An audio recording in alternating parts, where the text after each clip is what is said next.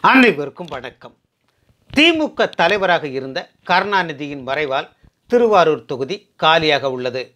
அந்த தொகுதிக்கு வரும் இருபத்தி எட்டாம் தேதி இடைத்தேர்தல் நடைபெற உள்ளது.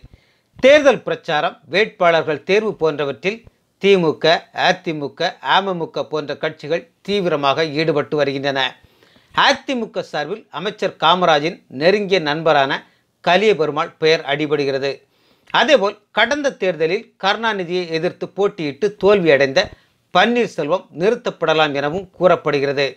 அமமுகவை பொறுத்தவரை அந்த கட்சியின் திருவாரூர் மாவட்ட செயலாளர் காமராஜ் நிறுத்தப்படலாம் என கூறப்படுகிறது. திமுகவில் பூண்டி கலைவாணன் எப்படியாவது சீட் வாங்கிவிட துடிக்கிறார். ஆனால் மாவட்டத்தில் அவர் பெயர் டேமேஜ் ஆகி கிடப்பதாகவும் பேசப்படுகிறது. அதே நேரத்தில் திருவாரூர் திமுக ஒன்றிய செயலாளர் தேவாவுக்கு கருணாநிதி மகள் செல்வியின் ஆதரவு உள்ளதால் அவருக்கு சீட் கொடுக்கலாமா என திமுக மேலிடம் யோசித்து வருவதாகவும் கூறப்படுகிறது. ஆனாலும் கருணாநிதியின் சொந்த தொகுதியான திருவாரூரை வேறு யாருக்கும் விட்டு கொடுக்கக்கூடாது எனவும் அவரது குடும்பத்தில் யாராவது ஒருவரை நிறுத்தினால்தான் சரியாக இருக்கும் எனவும் ஸ்டாலினின் உறவினர்களை அட்வைஸ் பண்ணுவதாகவும் ஒரு செய்தி ஓடுகிறது. இது இப்படி இருக்க திருவாரூருக்கு இப்போது இடைத்தேர்தல் வேண்டாம் என நினைக்கிறார் ஸ்டாலின். தற்போது இந்த தேர்தலில் திமுகவின் பலத்தை காட்டுவதை விட நாடாளுமன்ற தேர்தலுடன் சேர்த்து வைத்து நடத்தினால் நன்றாக இருக்கும் என நினைக்கிறாராம்.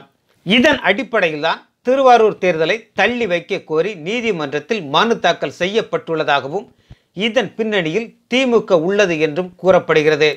திருவாரூர் தேர்தலை நடத்தக்கூடாது என உச்சநீதிமன்றத்தில் இரண்டு வழக்குகள் போடப்பட்டிருக்கின்றன. இதில் இந்திய கம்யூனிஸ்ட் கட்சி சார்பில் தொடரப்பட்ட வழக்கில் வழக்கறிஞர் கபில் சிபில் ஆஜராகிறார். இன்னொரு வழக்கு விவசாய சங்கத்தின் சார்பில் போடப்பட்டது. இதற்கு சல்மான் குர்ஷித் ஆஜராகிறார். இந்த இரண்டு வழக்கறிஞர்களுக்குமே குறைந்த ஃபீஸே ஐம்பது லட்சம். அந்த ஃபீஸை கொடுத்து வழக்கறிஞர்களை ஏற்பாடு செய்து கொடுத்ததே திமுக தான் என்று சொல்கிறார்கள். என்ன நடக்கிறது என்பதை பொறுத்திருந்து தான் பார்க்க வேண்டும். நன்றி.